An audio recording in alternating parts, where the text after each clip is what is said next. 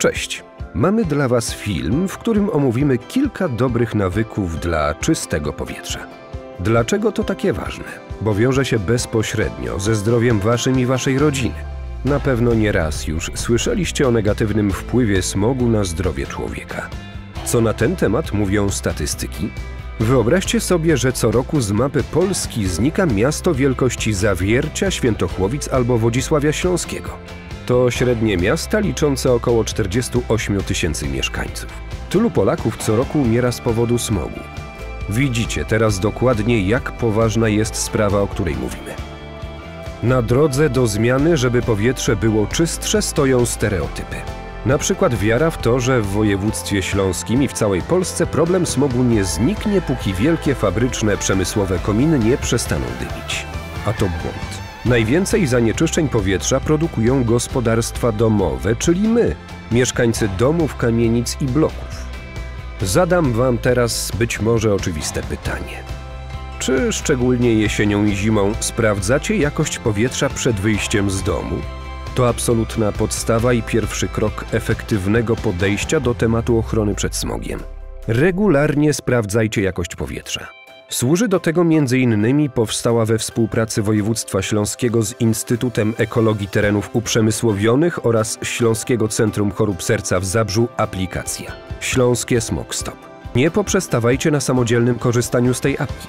Pomóżcie zainstalować ją rodzicom lub dziadkom.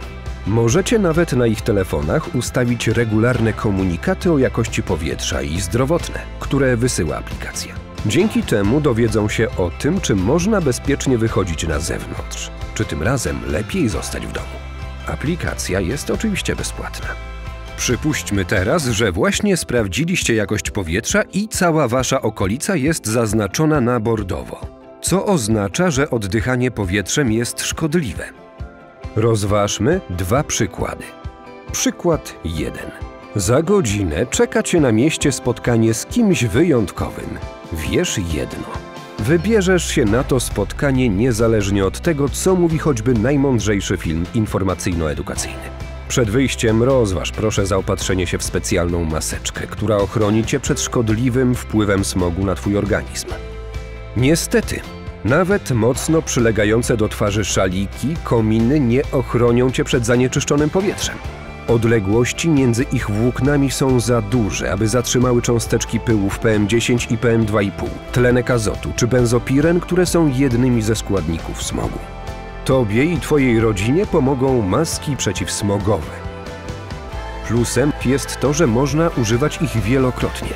Posiadają wymienne filtry, mowa o filtrach HEPA które filtrują około 99% cząsteczek o wielkości większej niż 0,3 mikrometra, co oznacza, że nie przeniknie przez nie pył PM10, a przy tym większość wirusów, grzybów, bakterii zapewniają dobrą ochronę na co dzień, a także dla osób chorujących, aktywnych i alergików.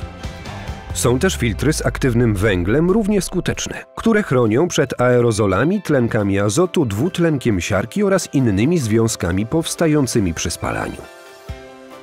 Na co zwrócić uwagę przy zakupie maski? Przede wszystkim na żywotność filtrów i ich dostępność. Czas na drugi przykład. Aplikacja Śląskie Smog Stop nadal pokazuje kolor bordowy, a ty masz już na nogach buty do biegania. Rozważ proszę przed wyjściem, czy nie poćwiczyć jednak w domu. Biegając w plenerze, twoje płuca wdychają i wydychają około 100 litrów powietrza na minutę to około 10 razy więcej niż podczas spoczynku. Niezależnie od tego, czy masz specjalną maseczkę, powinno się unikać ćwiczeń w godzinach szczytowych, kiedy jest większa ilość zanieczyszczeń w powietrzu. Podczas deszczu czy mocnego wiatru powietrze zostaje naturalnie oczyszczone. Wybierajmy trasy do biegania po lesie, unikajmy ruchliwych ulic. Ogranicz wietrzenie pomieszczeń do minimum, kiedy stężenia zanieczyszczeń przekraczają dopuszczalne normy. Rozważ także zakup oczyszczacza powietrza. Oczyszczacze powietrza, podobnie jak maseczki, wyposażone są w odpowiednie filtry. Wasz dom będzie wolny od smogu, a zagrożenie dla waszego zdrowia podczas ćwiczeń czy innych aktywności w domu zostanie zminimalizowane. Podsumujmy, należy regularnie sprawdzać jakość powietrza. Natomiast stosowanie masek przeciwsmogowych i korzystanie z oczyszczacza powietrza to wybrane sposoby, które mogą skutecznie chronić Was i Waszą rodzinę przed smogiem. Zachęcamy ponownie, abyście dzielili się informacjami na temat zachowań prozdrowotnych i proekologicznych. Udostępniali materiały, uświadamiali rodzinę i sąsiadów. Dzięki temu razem zmienimy powietrze na dobre.